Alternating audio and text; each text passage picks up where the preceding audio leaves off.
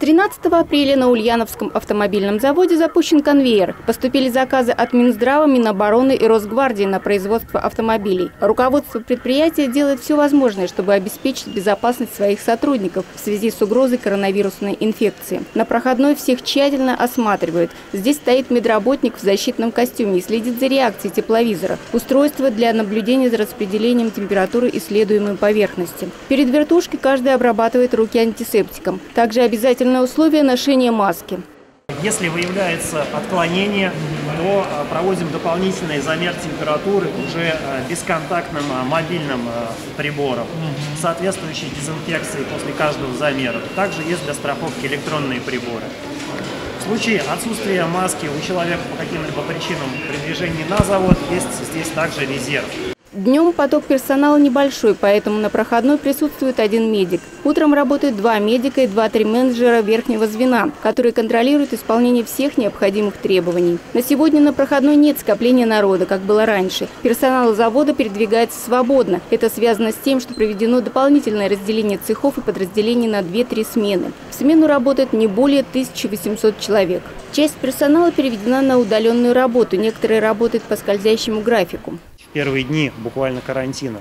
А, люди старше 65 лет, а, а, женщины в декретном отпуске находящиеся и даже которые на легком труде были у нас, мы их всех немедленно оставили дома и даже не выводя на работу известили о том, что они находятся с сохранением заработной платы в режиме самоизоляции у себя дома. Также включили в эту группу сотрудников с хроническими заболеваниями кровеносно-сосудистой системы и дыхательных путей. В первые дни работы автозавода персоналом использовались одноразовые маски, которые вызывали множество нареканий, сейчас закуплены многоразовые. В цехах на полу введена маркировка для обеспечения безопасной дистанции между сотрудниками завода в полтора метра. В ключевых узловых местах, бригадных зонах расположены наборы бригадира, где имеется дезинфицирующая жидкость, материалы для протирки, термометр и журнал для занесения измерения температуры. Сегодня на заводе обеспечение мер безопасности Э, в соответствии с рекомендациями э, Минздрава Российской Федерации, Роспотребнадзора выполнены в полном объеме.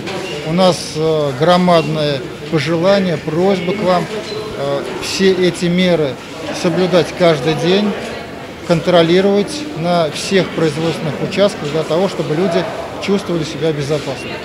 Карантинные меры коснулись не только сотрудников Ульяновского автозавода, но и обслуживающих организаций, которые работают на территории данного предприятия. В планах предприятия на апрель выпуск скорых и автопатрулей. В понедельник, 20 апреля, на завод приедут представители Росгвардии для приемки 4-50 автомобилей, больше половины которых уже находятся на складе готовой продукции. Ирина Антонова, Юрий Ломатов, Новости Улправда ТВ.